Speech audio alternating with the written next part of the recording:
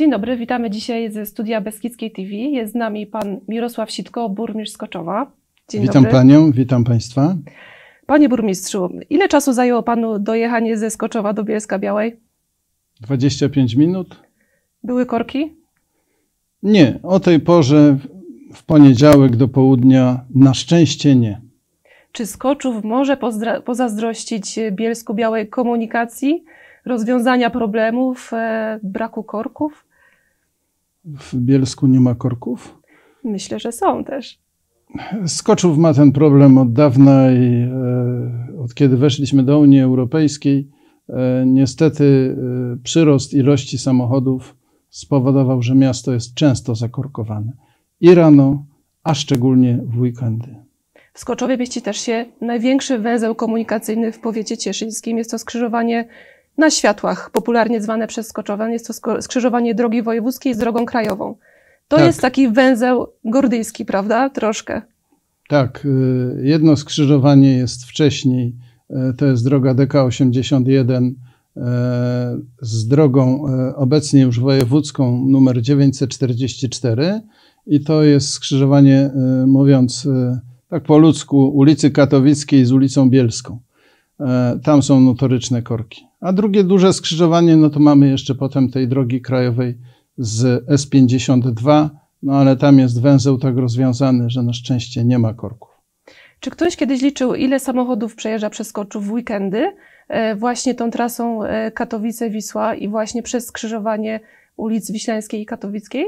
Tak, to największe skrzyżowanie w powiecie cieszyńskim. E, w 2015 roku przejeżdżało przez to skrzyżowanie 21 tysięcy samochodów średniodobowo, uwzględniając wszystkie 7 dni tygodnia.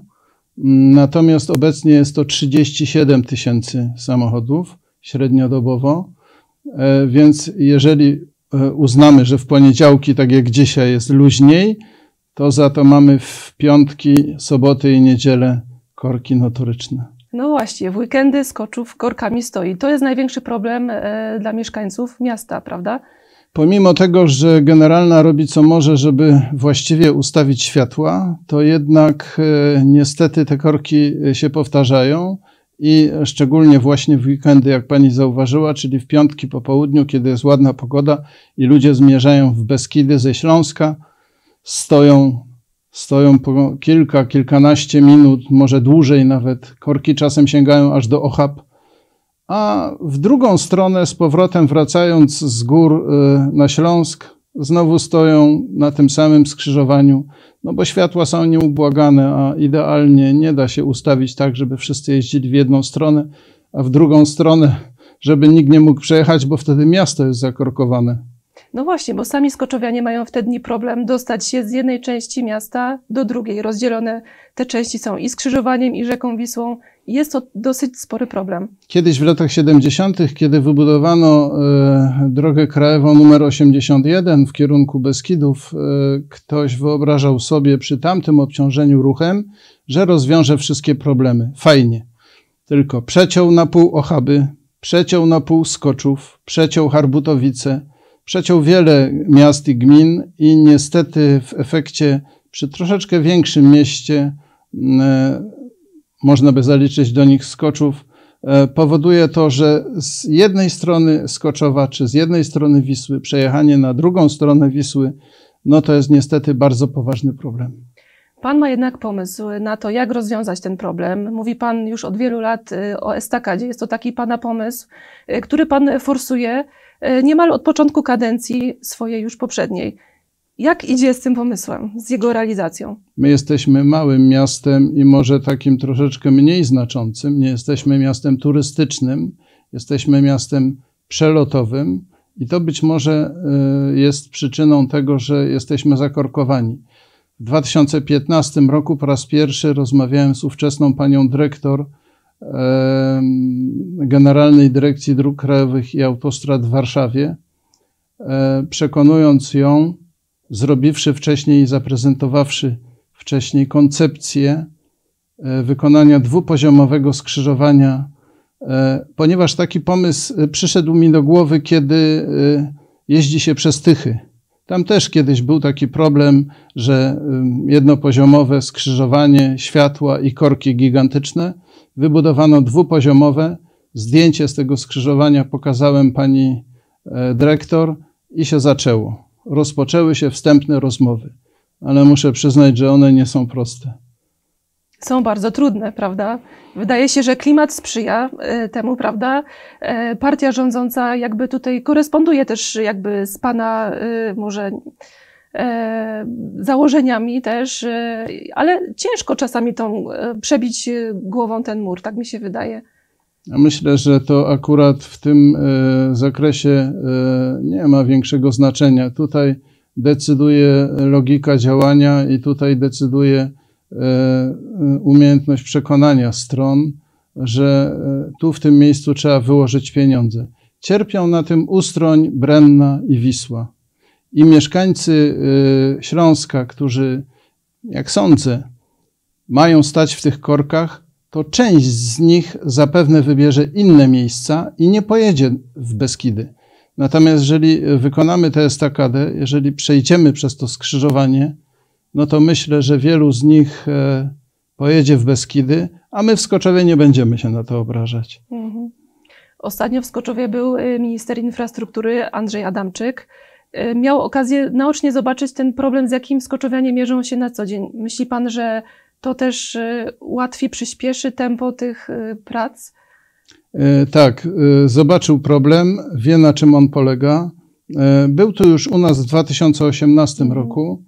Już wtedy zobaczył koncepcję, którą, taką wstępną, którą narysowaliśmy mu, zgodził się z nią i to przyspieszyło e, rozmowy. E, myślę, że e, jesteśmy posłowie, jeżeli chodzi o możliwość zrealizowania tej estakady, a przede wszystkim dlatego, że Generalna Dyrekcja Dróg Krajowych, oddział w Katowicach, przekonała się do tego, zaproponowała porozumienie. Takie porozumienie zawarliśmy i e, uzgodniliśmy zasady dalszej współpracy. Jakie są te zasady? E, my wykonujemy projekt techniczny i będziemy partycypować we wszystkich kosztach związanych z wykupami i regulacją gruntów. E, to nie będą małe pieniądze. Natomiast ten projekt techniczny wyceniony w sumie na 1 700 tysięcy będzie zrealizowany do czerwca przyszłego roku, to bardzo skomplikowane jest. Można by sobie pomyśleć, no cóż, tam zaprojektować jakieś kilka słupów, jakieś e, kilka e, przęseł. Nie, nie. To są badania geologiczne. Przecinamy miasto. Przypominam, że będziemy poszerzać tę drogę, że wejdziemy komuś w prywatne działki, że wjedziemy między innymi w działki, które należą do E, zarządzającego rzeką, że będziemy musieli stawiać mury oporowe. Więc e, to wszystko jest w tej chwili projektowane, na bieżąco uzgadniane z generalną. Jesteśmy po e, badaniach geologicznych i w tej chwili jesteśmy przed takim ostatecznym jakby zatwierdzeniem przed taką komisją opiniującą projekty techniczne w Generalnej Dyrekcji Dróg Krajowych i Autostrad i kiedy to zostanie zaakceptowane, e, biorąc pod uwagę, że chcielibyśmy jednak w maksymalnym stopniu zachować zjazdy i wjazdy w różne punkty miasta. E, chcę powiedzieć przez to, że gdyby tak czysto formalnie podejść, to byłaby estakada, rondo pod spodem, ale ze zjazdami nie byłoby zbyt dobrze, więc proponujemy pewne odstępstwa. Chcielibyśmy, żeby stacja benzynowa funkcjonowała tam, gdzie funkcjonuje. Chcielibyśmy, żeby domy, które stoją tam, były również obsługiwane. Będzie to już obsługiwane przez drogi gminne, które zostaną wybudowane dodatkowo. E, I chcielibyśmy, żeby ten obszar, gdzie e, znajduje się Skotan i Biedronka, e, były również obsługiwane i mogły dojeżdżać do nich no, Teraz zaopatrujemy się wszyscy e, tirami, więc chcielibyśmy, żeby to e, mogło tam działać. No wyzwanie jest ogromne. Ile to wszystko będzie kosztować? Wstępna prognoza przewidywała, że koszt, sam koszt budowy estakady to będzie około 120 milionów złotych, ale e, od czasu, kiedy podpisaliśmy porozumienie, czyli w ubiegłym roku, i biorąc pod uwagę, że w tej chwili e, no, inflacja niestety podnosi ceny, koszt jest szacowany na około 200 milionów. Mhm. Ale przewiduje cztero lub sześcioprzęsłowe, przęsłową, przepraszam, estakadę, E, przewiduje dwa przejścia podziemne. Jedno e, pod drogą krajową będzie, e, tam niby w tej chwili jest przejście, ale to wszystko będzie przebudowane. I drugie pod drogą wojewódzką, zamiast tego istniejącego obecnie przejścia w poziomie ze światłami, które też blokuje wyjazd z miasta. Kiedy to będzie tak wyglądać realnie, nie tylko na projektach, nie tylko w Pana głowie? Kiedy skoczowianie mogą się tego spodziewać? Tego ja jestem optymistą i dlatego e, zakładam, po, i dlatego się za to zabrałem. E, zakończenie projektu czerwiec 2023. My chcielibyśmy, żeby przetarg był zorganizowany w czwartym kwartale 2023 e, roku. Ten przetarg generalny najprawdopodobniej ogłosi w styczniu 2024 roku. I budowa zakończy się na początku 2026 roku. No jest jeszcze troszkę lat. Skoczów się całkowicie zmieni, jeżeli chodzi o wizerunek od tej strony miasta. Spojrzenie na kaplicówkę, na miasto.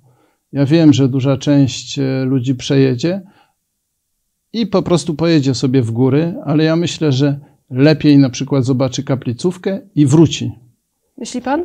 Niektórzy boją się, że Skoczów może stracić na znaczeniu troszkę, że właśnie będzie oglądany z góry, będą podziwiane te widoki, e, ale ludzie jednak wybiorą inne miejscowości, do których dojadą faktycznie bezpieczną, wygodną estakadą.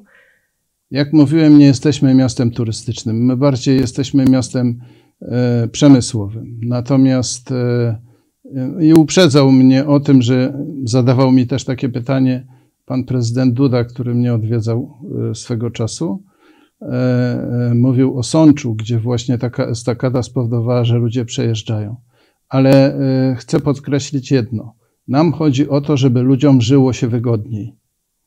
I każda cena jest tutaj warta. To samo, jeżeli chodzi o poniesienia. Każda cena jest warta poniesienia. To samo, jeżeli chodzi o tory kolejowe. E, i możliwość przemieszczania się pociągami. Myślę, że to wszystko zostanie zrealizowane i że naprawdę będziemy kiedyś e, mogli przemieszczać się dużo mm, swobodniej. Natomiast ci, którzy wjadą na estakadę i będą jechać w kierunku Ustronia, lepiej zobaczą kaplicówkę. Myślę, że zechcą wrócić. Kaplicówka to jest taki znak rozpoznawczy Skoczowa, e, taka mocna strona. Jakie są jeszcze inne mocne strony Pana zdaniem miasta, gminy, E, które można wypromować, e, które mogą być taką podstawą właśnie do tworzenia takiego wizerunku Skoczowa, do przyciągnięcia też jednak mimo wszystko turystów? E, nie wiem, czy na siłę będziemy przyciągać turystów. Nie mamy hoteli, nie mamy moteli, nie zamierzamy ich budować. Natomiast jesteśmy miastem, które jest bardzo przyjazne turystom.